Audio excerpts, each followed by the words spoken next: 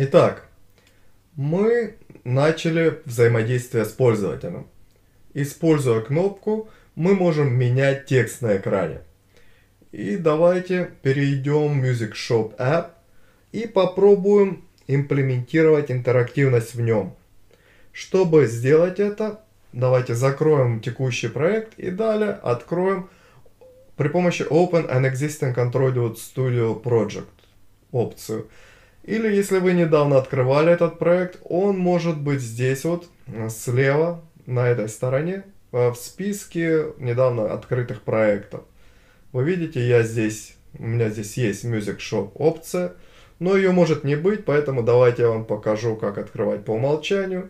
Давайте кликнем на этом Open Existing Android Studio Project опцию. И здесь мы должны перейти в папку, где этот проект расположен. В моем случае я оставил дефолтную папку. Это папка Android Studio Projects. Если вы создали ваш, э, ваш проект в другой папке, перейдите в нее. Давайте откроем. И здесь мы можем увидеть наш проект Music Shop. Выбираем его и далее нажимаем Open. И это займет какое-то время для загрузки проекта. Итак, Gradle все собрал э, успешно. И давайте теперь найдем наш файл с главной разметкой activity underscore main.xml.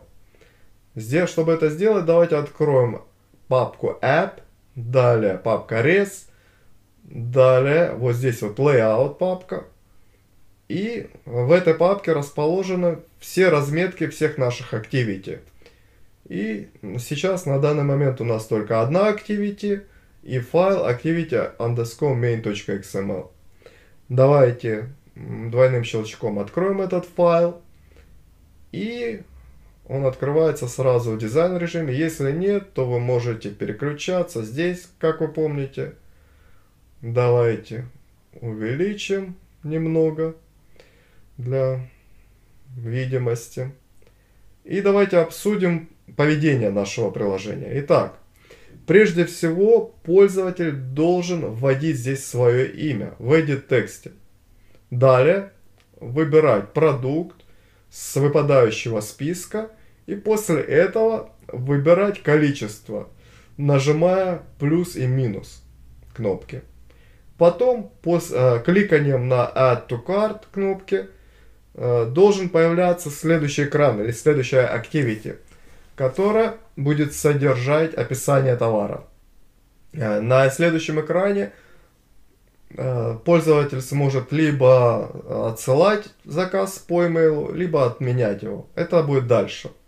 А теперь давайте попробуем имплементировать, например, изменение э, значения количества здесь, вот в этом TextView, который сейчас показывает 0. Мы уже знаем, как это делать.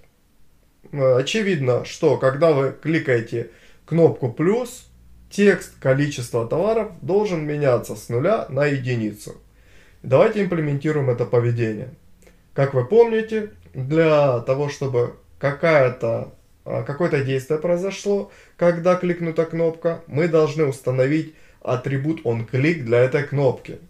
Давайте перейдем на вкладку текст и давайте найдем эту кнопку сначала. Как я помню, она в самом низу, вот она, да, с ID plus button. И давайте запишем on click атрибут здесь. И мы должны теперь установить значение для этого атрибута. Значение on click атрибута это название метода, который будет запущен, когда эта кнопка будет кликнута. Так как эта кнопка будет увеличивать количество товара, давайте назовем соответственно метод increase quantity, увеличивать количество. Итак, как вы видите, название этого метода подчеркнуто красной линией, потому что Android Studio не обнаружила метод, соответствующий этому э, методу в Main Activity. Давайте откроем Main Activity. Вы должны открыть папку Java затем открыть пакет вот этот здесь, и здесь находится main activity файл. Давайте двойным щелчком откроем его, и здесь дефолтный код, метод onCreate, и мы должны создать метод increaseQuantity. Он не существует здесь сейчас, и именно поэтому Android Studio говорит нам, что он должен быть создан. Давайте сделаем это. Давайте кликнем на красные лампочки и далее выберем опцию Create Increase Quantity in Main Activity. И как вы видите, э, он автоматически создан. И мы сразу же перемещаемся в Main Activity. Э, теперь нам надо написать код внутри этого метода, тело этого метода которая будет запи запущен, когда кнопка кликнута. Мы хотим, чтобы когда кнопка была кликнута, текст в text view, давайте посмотрим. Вы видите, подчеркивание исчезло, потому что все в порядке. С метод создан. Итак, давайте найдем наш text view. Quantity text view, вот он. Кстати, мы можем его найти вот здесь, в дизайн режиме, нажав на этом text view и мы сразу увидим его ID здесь вот. Quantity Text View. И далее мы можем найти его здесь по его ID. Итак, э, здесь нам нужно текст, который сейчас здесь 0. Вы видите? Атрибут текст 0, 0. Мы должны изменить этот атрибут, значение его на 1. Так как мы это уже делали, я вам предлагаю поставить видео на паузу и попробовать это сделать самостоятельно.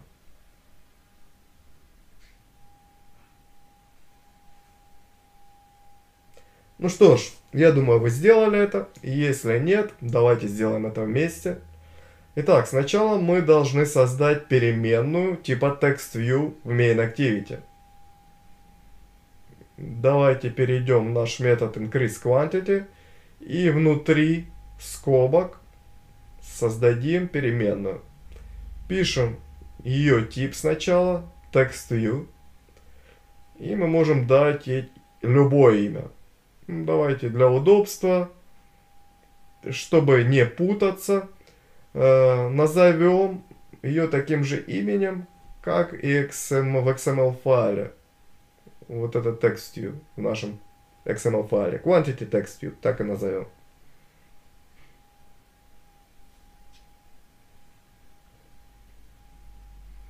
И теперь давайте присвоим ей значение нашего конкретного text view. Это переменная, которую мы создали здесь. Мы свяжем ее с этим text view в XML разметке.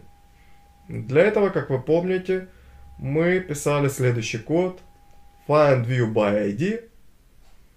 Далее в скобках R, ID и следующее ID нашего text view в XML разметке. Quantity text view.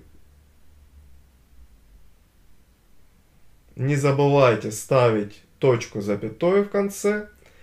И далее мы должны установить новое значение для текста в этом text view чтобы это сделать, мы должны через эту переменную, которую мы только что создали, должны написать следующий код setText, quantityTextView.setText. И написать сам текст здесь.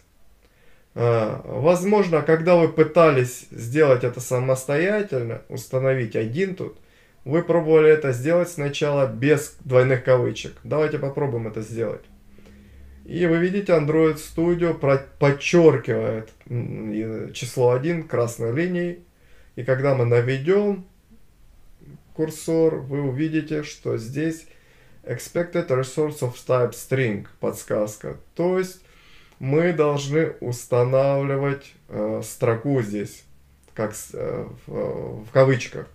Мы будем говорить далее о разных типах данных в курсе. И давайте теперь попробуем запустить приложение. Э, кстати, мы можем запускать приложение другим способом. Вот здесь вот наверху с, при помощи этого меню выбираем Run и далее кликаем Run App. это то же самое. Я выбираю свой эмулятор здесь. Если у вас подключен ваш телефон, ваш телефон также будет отображаться здесь. Вы можете выбрать его и кликнуть ОК.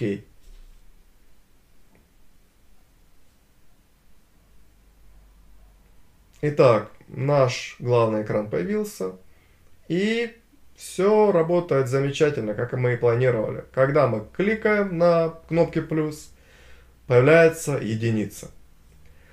А единственная проблема это то, что когда вы кликаете плюс, то количество увеличивается только один раз. Если мы кликнем еще раз, то опять же устанавливается единица.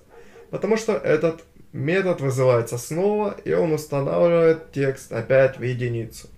В реальной жизни каждый раз, когда мы нажимаем кнопку, значение должно увеличиваться на единицу. То есть, если мы нажмем еще раз, мы должны получить 2, э, кликнем еще раз 3 и так далее.